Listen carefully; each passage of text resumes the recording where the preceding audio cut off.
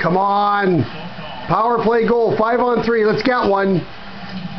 Yeah, yeah, yeah, yeah. Oh. Come on, boys. Let's salt it away right here for good.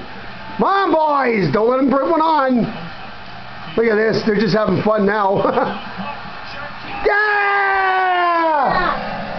Sharp puts it home. 5-1 power play goal. Sweet!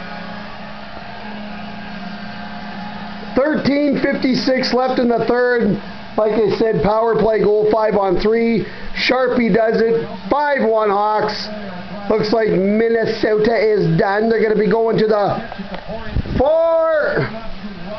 And the Hawks will move on.